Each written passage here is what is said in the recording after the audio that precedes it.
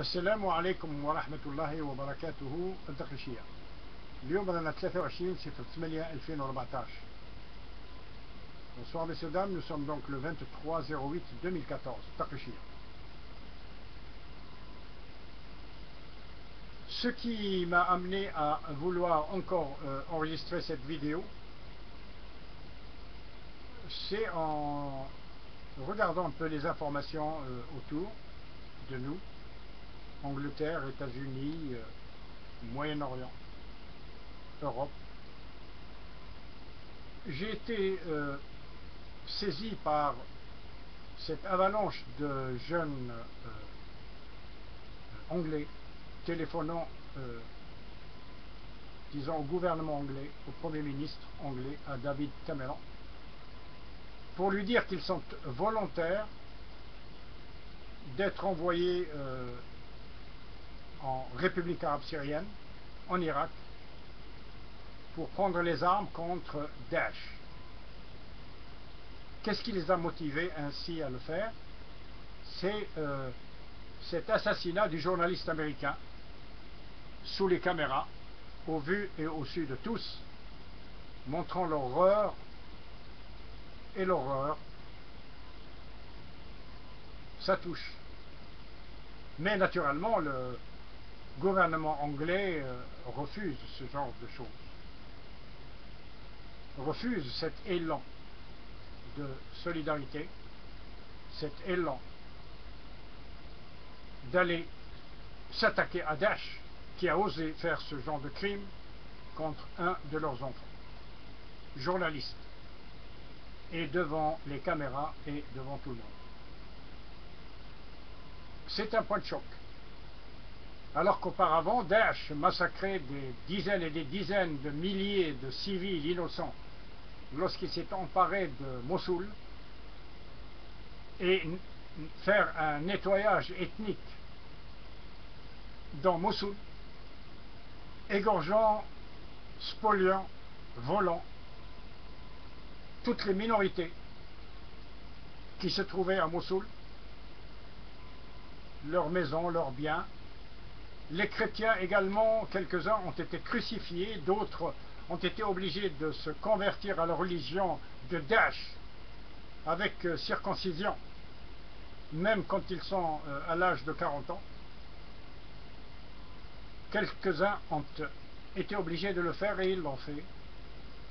Nous avons vu des jeunes cadets militaires dès le départ qui ont été tués au nombre de 1000. Personne n'a réagi. La réaction est venue que lorsque ce journaliste américain était euh, tenu en otage par euh, ces terroristes qui ont demandé euh, combien de fois aux Américains une rançon pour le relâcher. Apparemment, les choses n'ont pas été dans le sens qu'il voulait. Et donc, il a été égorgé publiquement. Le fait de l'avoir égorgé publiquement, et c'est euh, finalement Daesh qui l'a fait, est un acte qui peut être euh, finalement vu de deux aspects. On peut le voir comme une provocation d'un monstre qui a été fabriqué par son maître et qui finalement qui désobéit à son maître. On peut le voir aussi comme une espèce de malice, de jeu euh, curieux pour euh, finalement euh, nous mettre le voile que Daesh euh, n'a jamais dépendu des Américains alors que c'est les Américains qui l'ont façonné. Et l'article que je suis en train de, que je serai en train de vous lire indique cela. Donc, c'est un petit peu pour légitimer cette, ce califat de diable, pour en faire un califat musulman, alors qu'il n'a rien à voir avec l'islam. C'est une bande de mercenaires au service de princes, comme l'histoire a vu ce genre de phénomène. Si l'on revient au Moyen Âge de l'Europe, il y a eu des princes qui se, payaient, qui se payaient une armée de mercenaires pour attaquer des régions, pour les occuper, guerre de religion. Et donc ces mercenaires étaient au service de l'un comme de l'autre. Celui qui payait le mieux, il passait euh, de son côté. Donc sans tarder, je lis mon article. Bismillah ar-Rahman. Alors, il devient de plus en plus clair que toujours la magie se retourne contre son magicien. Comparé à ce qu'est voulu par Dieu pour le bien des hommes et ce qui est voulu par Pharaon pour le mal des hommes, par sa domination vaine et toujours inutile en tout temps et en toutes circonstances. Que a osé dépasser la limite rouge, comme aime à le dire son chef direct, Barack Obama. La ligne rouge que lui-même leur avait tracée, à ne pas dépasser au risque que tout ce qui a été convenu entre ses services de sécurité, CIA, et le sénateur McCain, opposant républicain, en personne, occupant une haute fonction finalement dans l'État américain, et en même temps haut fonctionnaire de la CIA américaine, chargé des relations avec les services d'information anglais et australiens. McCain, qu'on a vu un peu dans tous les théâtres où il y a eu des troubles, aussi bien en Europe centrale qu'en Afrique, qu'au Moyen-Orient. Nous l'avons vu en Libye, nous l'avons vu en Égypte, nous l'avons vu euh, en Tunisie, nous l'avons vu en République arabe syrienne discrètement rentré par la partie turque, par des passeurs pour rencontrer justement ces chefs terroristes qui sont à la tête de Daesh. Nous l'avons vu en Ukraine, nous l'avons vu euh, dans bien des États où il fallait faire un coup d'État, des fois réussi, des fois loupé. Dernier acharnement, l'Ukraine, par exemple, à Kiev. Donc le sénateur McCain, c'est un petit peu leur chef chargé par Barack Obama. Qu'est-ce qu'ils ont choisi, euh, ces bonhommes, enfin, euh, McCain et, Barack Obama et les services secrets américains?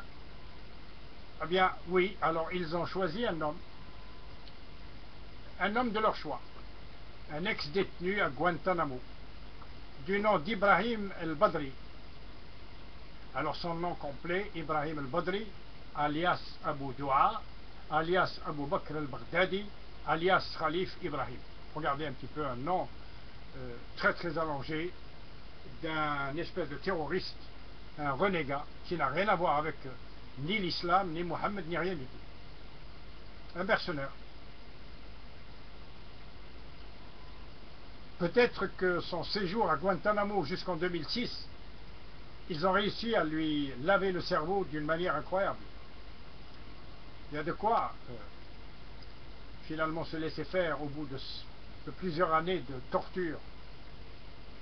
McCain lui-même a subi la même chose, par exemple, avec les Vietnamiens durant la, guerre du Vietnam menée par les Américains, guerre qu'ils ont perdue. McCain a été ah, détenu par le Viet Cong, qui finalement euh, n'a pas essayé de soutirer des informations euh, d'un militaire américain détenu venu faire la guerre au peuple vietnamien. Mais ils l'ont simplement euh, manipulé de manière à ce que les communiqués qu'il va faire devant la caméra pour communiquer aux Américains qu'il est vivant et détenu par les Vietnamiens, eh bien les communiqués, il va les faire contre son État. Il ne va pas dire venez me délivrer, vous êtes la démocratie, je suis détenu par des criminels. Il va se mettre à dire les Vietnamiens sont les meilleurs des hommes et vous les Américains, vous êtes les agresseurs, pourquoi vous attaquez le Vietnam? C'est ce que McCain devait dire devant les caméras pendant qu'il était détenu par les, euh, Vietnamiens. Donc c'est une technique de manipulation qu'il connaît bien. Et quand il est rentré aux États-Unis, il a dû naturellement se faire soigner, puis petit à petit faire de la politique, et il est devenu sénateur. En tant que sénateur, face à des... Euh, Abu Bakr al-Baghdadi détenu à Guantanamo, qui a été lavé euh, du cerveau, qui a été manipulé, qui a été drogué, qui a été humilié, qui a été euh, violé, qui a été... enfin toutes sortes de sévices qu'on peut subir dans un Guantanamo euh, entre les mains finalement des tortionnaires américains. Et le bonhomme, il sort peut-être entier, mais complètement asservi comme un chien qui ne réagit qu'aux ordres de son maître. Ils ont choisi Abu Bakr al-Baghdadi, Ibrahim al-Badri. Ils ont fait avec lui un pacte, un pacte du diable convenu, un pacte du diable entre eux. Il ne devait pas être découvert par l'opinion mondiale. On dira euh, Daesh est de fabrication syrienne. Et on a cessé de nous rabâcher cette intoxication, ou bien de fabrication iranienne. Rien que cela. Daesh n'a rien à voir avec, avec euh, al-Nusra, puisqu'elle combat Jabhat al-Nusra. Alors qu'en fait, c'était des disputes pour des avoirs, des vols, ou une domination, ou euh, une, concurrence entre eux. Rien à voir avec l'État syrien. Une intoxication qui a été développée bien souvent. Alors maintenant que chacun a remarqué la contradiction de ceux qui euh, qualifiaient récemment l'émirat islamique de combattants de la liberté. Entre parenthèses, pour revenir avant de, continuer, euh, il y avait par exemple cette euh, Adnan al-Araour, un, opposant syrien, euh, imam caché, je ne sais pas, en Arabie Saoudite, et qui à un moment donné défendait Jabhat al-Nusra contre Daesh.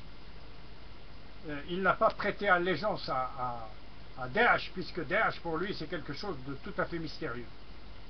C'est encore lui qui nous a introduit une espèce de désintoxication, ou plutôt d'intoxication, euh, pour euh, euh, dire que Jabhat al-Nusra est, bien et Daesh est quelque chose de suspect, de, suspect. Il a en fait visé juste, mais en même temps visé faux, et en même temps amené une certaine intoxication. Alors, euh, revenons à ma phrase, ce pacte du diable convenu ne devait pas être découvert par l'opinion mondiale. Maintenant que chacun a remarqué la contradiction de ceux qui qualifiaient récemment l'émirat islamique de, entre parenthèses, combattants de la liberté. Fermez la parenthèse. En Syrie et s'indigne aujourd'hui de ces exactions en Irak, alors qu'il avait été convenu qu'il devait commettre toutes les horreurs que la Convention de Genève interdise à des États de faire, même s'il déclare qu'il est califat, et puisque sa mission, en fait, est de découper l'Irak en trois entités.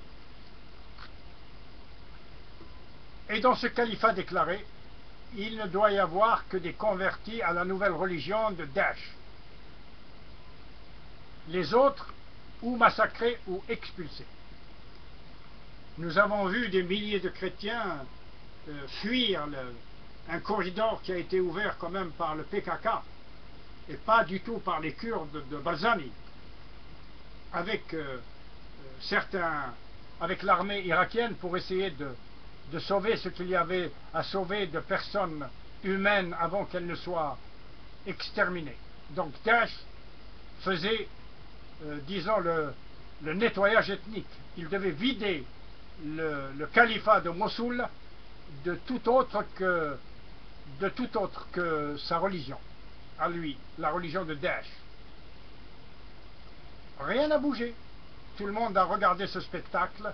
Dès que Daesh est entré à Mossoul, des cadets de cette jeune armée irakienne en formation un millier de jeunes qui se sont enrôlés dans cette armée pour être formés ont été sur le coup assassinés, tués, fusillés. C'est bien donc ce que nous avons observé depuis de longs mois, sans que les USA ne disent mot. Maintenant que le mot est dit par Barack Obama, son discours est incohérent en soi, alors qu'il est parfaitement logique au plan stratégique. Je m'explique. Les mêmes individus devaient être présentés comme des alliés hier, alliés de l'Amérique puisqu'ils ont combattu Bachar al-Assad. Barack Obama leur a fourni des armes, une logistique, une aide politique, diplomatique, toutes sortes de, de soutien. Bon. Les mêmes individus devaient être présentés comme des alliés hier et doivent l'être comme des ennemis aujourd'hui. Regardez le paradoxe. Même s'ils sont toujours aux ordres de Washington. Encore aussi paradoxal que ça. Tu vas même maintenant faire semblant d'être euh, pas à mes ordres, je vais faire semblant de te tirer dessus, mais en fait tu es en train de faire mon travail. Alors Daesh est toujours sous les ordres de Washington. Combien même la chose, est, dévoilée aux yeux de tous. Parce qu'il ne peut être que comme ça. Parce que euh, c'est l'Amérique qui l'a fabriqué. Même si l'Amérique l'attaque, il est à son service. Hein. Ce n'est qu'une ruse qui n'a pas marché.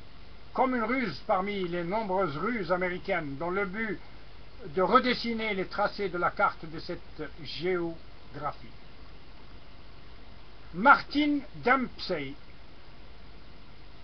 qui fonctionne comme chef d'état-major de l'armée américaine et conseiller du président Barack Obama. Martin Dempsey.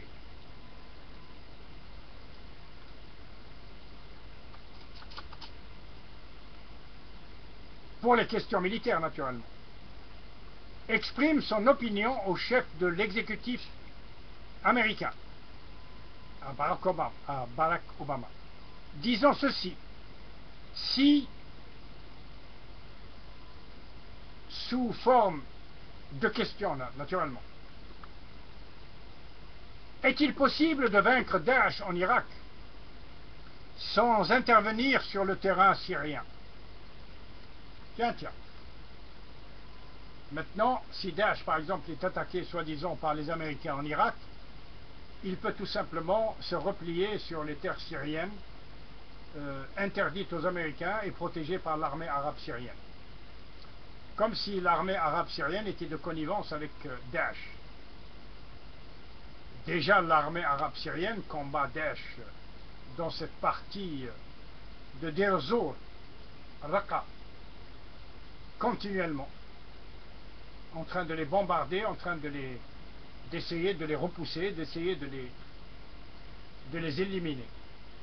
Et voilà que les Américains euh, s'invitent tout seuls à vouloir les bombarder en République arabe syrienne comme si de rien n'était. Donc, ce chef d'état-major, Martin Dempsey, dit qu'on ne peut pas vaincre Daesh si, seulement on l'attaque en Irak, mais il faut aussi l'attaquer en République arabe syrienne. Et donc, on ne peut pas le vaincre si on ne l'attaque pas en Syrie, et la réponse est non. Que cache cette opinion? Point d'interrogation. Tandis que le ministre de la guerre américaine, ministre de la guerre américain, euh, Chick Hagel, dit que la peur et le danger rôdent désormais dans la région au Moyen-Orient et que les États-Unis d'Amérique enquêtent sur tous les choix possibles pour traiter ce problème avec Daesh, qui est devenu désormais plus dangereux que Al-Qaïda. Tiens, tiens, un côté comparatif, euh, Daesh est plus dangereux qu'Al-Qaïda. Oui, bien sûr, Al-Qaïda, c'était quelque chose. Daesh, c'est autre chose qui finalement fonctionne comme, un, comme une entité. Il a un service d'information, il a des administrateurs civils formés dans des grandes écoles qui peuvent prendre en charge toute une région, des économistes, des gens qui traitent des affaires au nom de Daesh par le vol de pétrole, par le vol finalement de récolte de coton, par le vol d'élevage d'animaux vers la Turquie, par le vol d'usines entières expédiées à l'extérieur de la République arabe syrienne. Naturellement, euh, c'est différent. Et plus dangereux, dit-il, qu'Al-Qaïda. Alors qu'en fait, c'est lui qui l'a chargé d'être plus dangereux qu'Al-Qaïda pour, le, euh, pour un nettoyage ethnique, puisqu'il faut euh, donner l'opportunité à l'entité sioniste de fonder son État religieux et donc obliger découper ces pays comme l'Irak, comme la République arabe syrienne, selon finalement les minorités et les entités qu'il y a dedans. Euh, les Alaouites auront leur territoire, les Druzes auront leur territoire, les Sunnites euh, auront leur territoire, et ainsi de suite, les Turkmans auront leur territoire, et puis les, les Kurdes auront leur territoire, et comme ça on va faire une espèce de mosaïque à côté de la Palestine occupée, un espèce d'Israël puissant qui va dominer toute la région. C'est ce qui est demandé en fait. Et maintenant, ce, ministre de, la Défense de l'État américain dit, constate que Daesh est devenu désormais plus dangereux que euh, Al-Qaïda, alors que c'est eux qui l'ont façonné, fabriqué pour qu'elle le soit plus dangereuse. Et Al-Qaïda n'a pas été en mesure, par exemple, de, de, donner de résultats durant trois années, quatre années euh, de combat et de destruction en République arabe syrienne, et l'État syrien est toujours debout. Donc il fallait faire quelque chose de plus dangereux qu'Al-Qaïda, qu'elle aille en Irak fonder euh, ce califat, se renforcer, et puis un deuxième round euh, vers la Syrie, vers Alep, pour continuer encore à tenter un coup d'État contre la République arabe syrienne. Alors, ce, Hegel constate que Daesh est plus dangereux que Al-Qaïda. Et donc, continue encore ce ministre de la guerre, et donc nous nous devons d'être prêts à toute éventualité pour faire face à ce danger. Voilà la phrase du ministre de la guerre euh, américain, ou ministre de la défense euh, américain. Maintenant, à se demander, est-ce que les USA sont sérieux de prendre en charge ce monstre qu'ils ont eux-mêmes fabriqué? Tout un chacun est en droit de se poser la question. Les États-Unis sont ceux qui ont façonné Daesh, l'ont financé, l'ont armé, l'ont couvert politiquement, diplomatiquement, et par les masses médias du monde entier comme étant des combattants pour la liberté quand ils ont agi en République arabe syrienne durant les trois années. Et en même temps, quand ils ont commencé à agir en Irak, on a demandé que finalement le gouvernement irakien entende un peu toutes les composantes de la société irakienne, euh, que le Maliki n'était pas juste et qu'il fallait changer le Maliki. Maintenant, le Maliki il est parti. Alors qu'en fait, le Maliki il a été démocratiquement élu et, élu aussi comme Premier ministre, mais il a été obligé de partir pour donner finalement les fonctions à un ami à lui euh, qui a été désigné pour le remplacer. Et nous allons voir un petit peu ce que les Américains vont faire avec cette nouvelle direction politique de l'Irak. Vont-ils, les Américains, donner les armes qui ont été commandées, payées cash et qui n'ont jamais été livrées pour laisser finalement euh, l'Irak faible devant Daesh. C'est ça le, hic. Naturellement, sous des noms moins provocants, comme armée syrienne libre ou Ansar al alors qu'il s'agit euh, de mêmes individus, de mêmes chefs terroristes qui ont toujours commandé ce genre de terrorisme. Ce sont toujours les USA qui les ont programmés pour cette mission en coordination avec euh, leurs alliés européens. Et donc les Français, ils ont mis la main à la poche, les Anglais également, les Turcs, et naturellement leurs laquais libyens, jordaniens, qataris, et surtout saoudiens. Les Saoudiens, ils ont été tellement euh, finalement jaloux que les Américains aient fabriqué Daesh, qu'ils se sont mis en concurrence avec les Américains pour donner encore plus de moyens à Daesh. Et en plus, ils lui ont donné le nom Émirat islamique, placé sous l'autorité du prince Abdelrahman al-Faisal, frère du prince Saoud al-Faisal, actuellement euh, cet homme un peu vieux, tordu, mais qui fait fonction de ministre des Affaires étrangères, et du prince Turki al-Faisal, donc trois Faisal. Il est ambassadeur saoudien aux États-Unis et au Royaume-Uni. Un ambassadeur pour deux pays, distants l'un de l'autre, à des milliers de kilomètres. Voilà, Turki al-Faisal.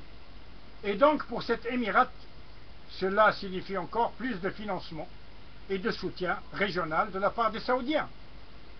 La République arabe syrienne jamais n'avait été dans le camp de ceux qui ont fabriqué le terrorisme. L'adjoint des affaires étrangères de la République arabe syrienne, Faisal al-Morded, a certifié la disponibilité de son pays de s'associer avec n'importe quel État dans la lutte contre le terrorisme, mais aucunement avec les États qui ont soutenu ce terrorisme, financé ce terrorisme. La République arabe syrienne est indépendante dans ses décisions. Et elle était, et elle le restera encore, rejetant toute tentative de lui imposer quoi que ce soit, de personne, et refuse définitivement de s'associer à celui qui ne possède aucune crédibilité dans sa politique étrangère, sans aucune éthique dans ses démarches. En conclusion, celui qui était derrière les massacres, les hécatombes que l'humanité refuse, qu'est l'impérialisme américain, ses alliés et ses laquais.